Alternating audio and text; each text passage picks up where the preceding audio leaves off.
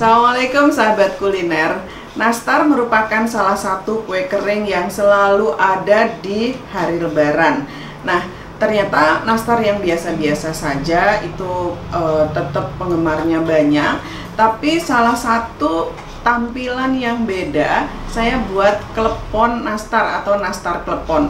Jadi klepon adalah salah satu kue basah tradisional Indonesia yang tampilannya banyak sekali menjadi ide untuk menghadirkan makanan lain dengan tampilan yang sama nah nastar ini juga lucu gitu persis seperti klepon Bahannya adalah butter atau margarin, kemudian ada gula halus, kemudian juga ada tepung terigu protein sedang, kemudian ada kuning telur saja dan digunakan susu bubuk full cream Indomilk.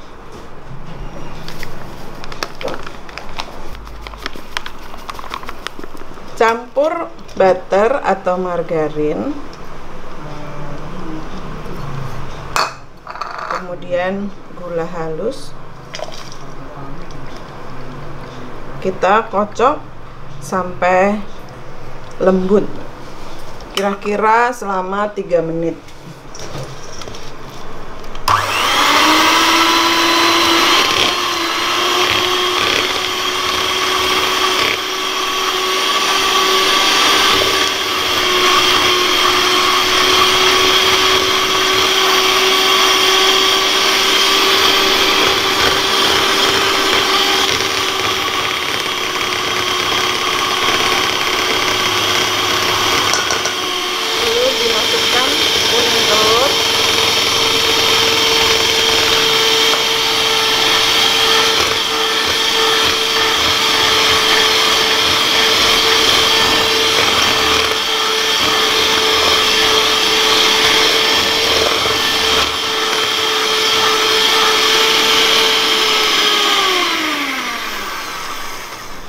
masukkan tepung terigu kemudian susu bubuk full cream indomilk. Kita aduk rata.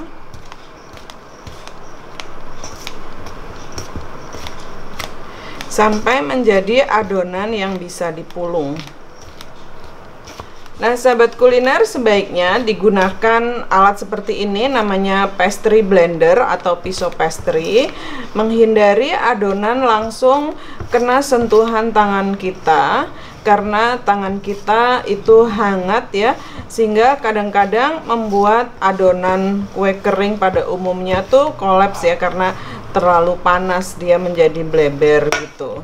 Nah, dengan alat seperti ini adonan bisa tercampur rata saya akan bagi adonan ini menjadi dua bagian karena setengah bagian saya jadikan warna hijau seperti judulnya klepon nastar ya atau nastar klepon. Dan setengah lagi nanti saya akan buat uh, nastar kurma di video yang lainnya. Diberi pandan pasta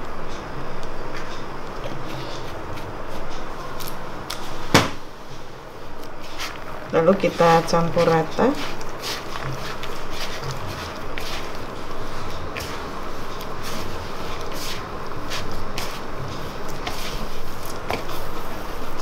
Nah setelah warna hijaunya rata lalu saya seperti biasa pada nastar standar saya saya akan timbang kulitnya ini masing-masing 8 gram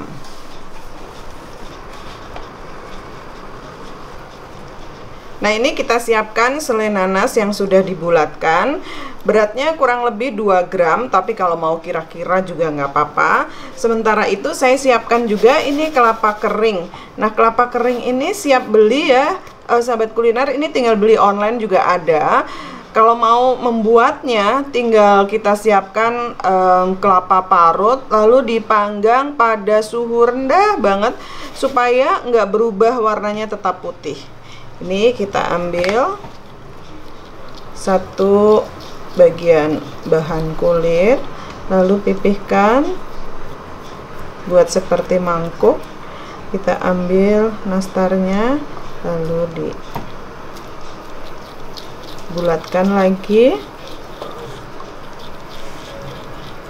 Nah setelah itu kita gulingkan pada kelapa parut seperti ini. Dia langsung saja persis seperti kelpon ya. Nanti kita panggangnya juga harus menggunakan suhu rendah 130 derajat celcius supaya tidak terjadi proses um, apa ya karamelisasi ya membuat nastar ini warnanya terjaga hijau gitu. Kelapanya juga tetap terjaga putih tapi sudah matang. Jadi suhu rendah tinggal waktu panggangnya yang lebih lama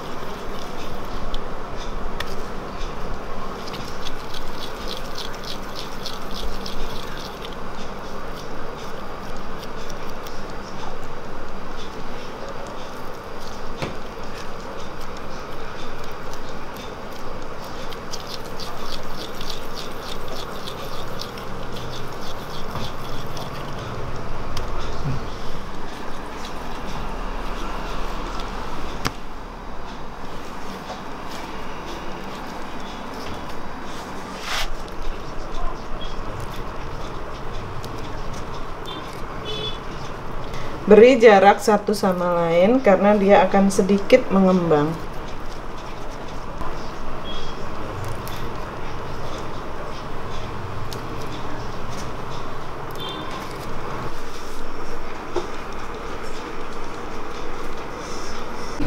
Setelah matang, kita lihat ya dia tetap terjaga warna hijaunya dan menjadi nastar yang teksturnya lembut dengan rasa pandan yang enak sekali.